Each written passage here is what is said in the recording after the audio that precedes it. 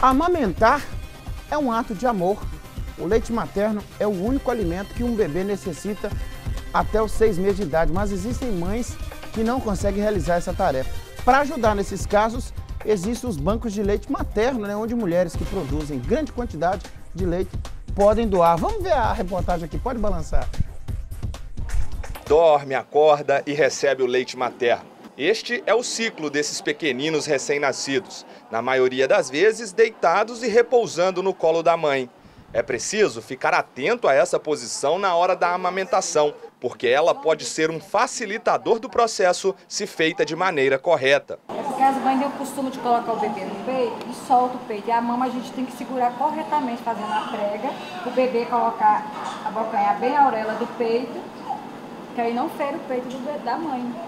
E o bebê amamenta melhor. A Stephanie deu à luz ao Andrew, segundo filho, no domingo à noite. Por já ter experiência, a função de amamentar desta vez tem sido mais fácil.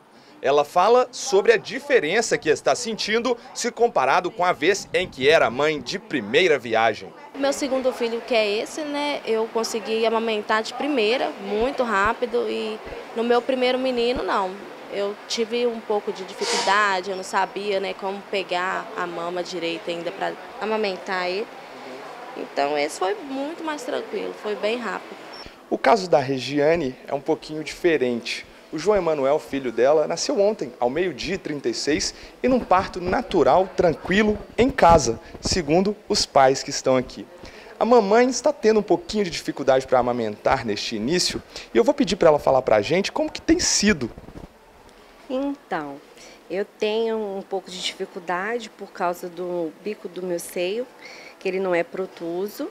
Então a gente teve que colocar o bico de silicone para que o João Manuel pudesse se amamentar. Né? Que é importante que ele não perca peso né? e tenha essa alimentação saudável por enquanto, né? Que a nossa intenção é retirar o bico de silicone. Então a gente vai passar por um acompanhamento, né? Uma especialista em amamentação, para estar tá nos auxiliando em casa.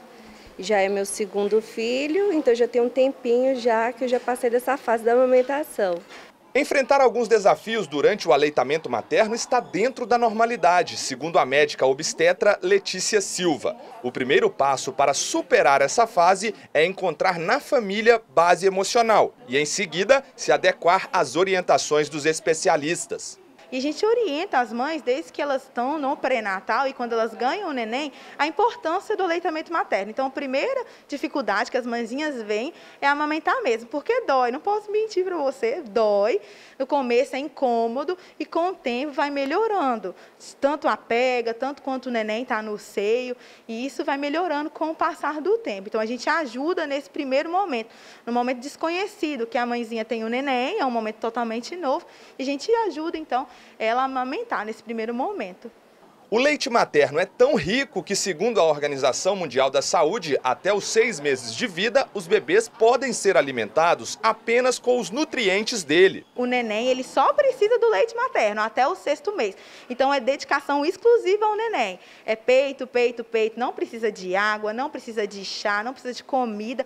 É só o leite materno até o sexto mês. E nós recomendamos que essa alimentação, depois do sexto mês, pode ir até dois anos, junto com a comida. Então, assim, até o sexto mês é a mãe e o neném, é os dois juntinhos para sempre. Diante de tamanha importância, amamentar é um ato de puro amor. Mas doar o leite também tem tanto valor quanto. Como algumas mães não conseguem produzir o insumo de maneira suficiente, a coordenadora materno-infantil da Secretaria de Estado de Saúde de Minas Gerais faz um alerta importante. Algumas mães elas não podem amamentar né, elas não conseguem amamentar. Daí a importância daquelas mães né, que têm uma produção excedente do leite é procurar doar esse leite. Então ela pode procurar um banco ou um posto de coleta de leite humano mais próximo da sua residência, que lá vai ter todas as orientações em relação a esse processo de doação. Então, quem são aquelas mulheres que são aptas a doarem esse, tipo, esse leite humano?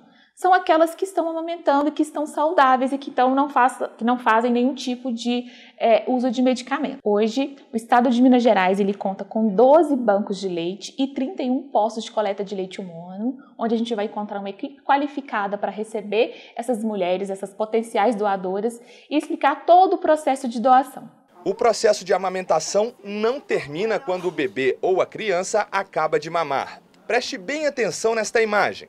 Após o término da alimentação, a mãe levanta a criança e posiciona ela de maneira que possa conter o refluxo. Assim, não corre o risco de engasgar.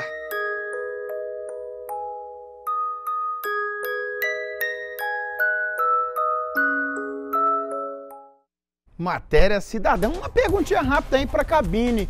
Até qual idade vocês amamentaram aí? Vamos ver. Até qual idade vocês foram amamentados aí? Pergunta aí. Porque.